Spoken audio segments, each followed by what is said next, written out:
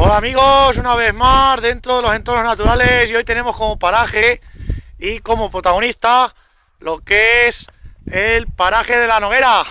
Como la podemos ver es una Noguera ya seca, eh, ya lleva muchos años aquí y también queremos decir que aquí a las orillas del Júcar eh, hoy tenemos como indumentaria, ya la indumentaria de invierno eh, y vamos ya protegidos.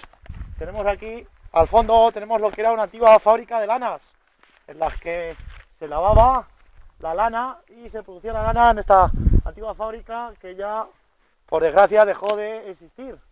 Y solo quedan pues las ruinas de las mismas. Por lo tanto, tenemos que, tenemos que decir que empezamos la nueva temporada de invierno de mountain bike, pequeños.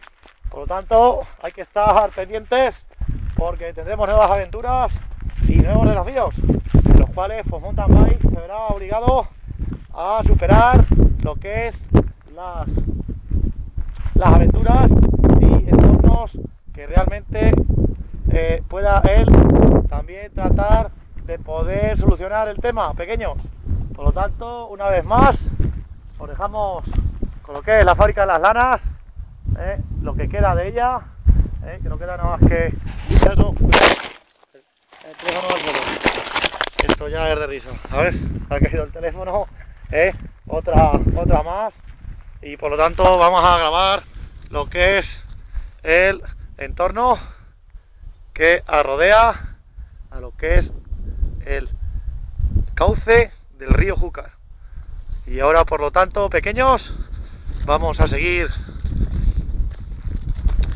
eh, haciendo la ruta y también intentando de que podamos averiguar más cosas sobre estos sitios que realmente esconden su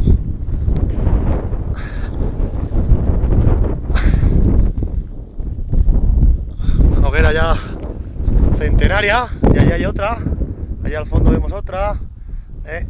y por lo tanto pequeños esto se llama el paraje de la noguera paraje de la noguera nunca nunca ha sido grabado nunca ha sido redactado y por lo tanto mountain bike pues todo lo que va viendo por lo va redactando y lo va comunicando. Bueno, pequeños, una vez más nos vemos obligados a seguir la ruta. Por lo tanto, a volar. Este va a ser el capítulo de invierno.